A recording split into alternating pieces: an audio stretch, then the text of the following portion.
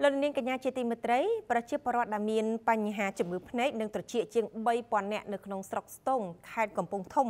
ទទួលបានការពិនិត្យនិងព្យាបាលជំងឺដែលឥតគិតថ្លៃរយៈពេល2ថ្ងៃចាប់ពីថ្ងៃទី16រហូតដល់ថ្ងៃទី17ខែមិថុនាពីក្រុមការងារស្ម័គ្រចិត្តរបស់ធនាគារជាតិនៃកម្ពុជាសហការជាមួយនឹងក្រុមគ្រូពេទ្យស្ម័គ្រចិត្តមកពីមូលនិធិចក្ខុខ្មែរមូលនិធិរក្សាកុមារនិងអង្គការផ្ដល់នៅក្តីសង្ឃឹមកម្ពុជា។ សកម្មភាពមនុស្សធម៌នេះបានរៀបចំធ្វើឡើងនៅបរិវេណវិទ្យាល័យ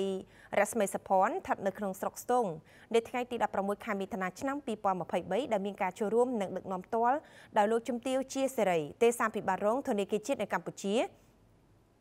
និងឯកឧត្តមយឹមលៀបតំណាងរាជខេត្តកំពង់ធំលោកជំទាវជាសេរីបានមានប្រសាសន៍ថាប្រទេសកម្ពុជាក្រោមការយកចិត្តទុកដាក់ពីរាជរដ្ឋាភិបាលកម្ពុជា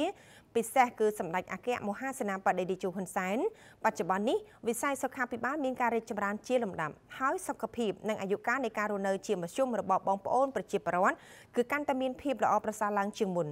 លោកជំទាវជាសេរីសង្ឃឹមថាតាមរយៈកម្មវិធីពិនិត្យនិងព្យាបាលភ្នែកនិងត្រចៀកឥតគិតថ្លៃរយៈពេល2ថ្ងៃនេះក្រៅពីជួយពលរដ្ឋឲ្យជាសះស្បើយពីជំងឺភ្នែកនិងត្រចៀកក៏បានជួយកាត់បន្ថយការចំណាយក្នុងប្រជាពលរដ្ឋម្នាក់ម្នាក់ផងដែរលោកជំទាវបញ្ជាក់ថាកម្មវិធីសប្បុរសធម៌នៅពេលនេះគឺទទួលបានការណែនាំនិងឧបត្ថម្ភថវិកាទាំងស្រុងពីឯកឧត្តមបណ្ឌិតជាចន្ទោនិងលោកជំទាវខៀវស៊ីណា ដែលជានិច្ចកាលតែងតែយកចិត្តទុកដាក់និងគិតគូរពីសុខទុក្ខប្រជាពលរដ្ឋមិនថាតែនៅក្នុងស្រុកស្ទងទេគឺទូទាំងខេត្តកំពង់ធំ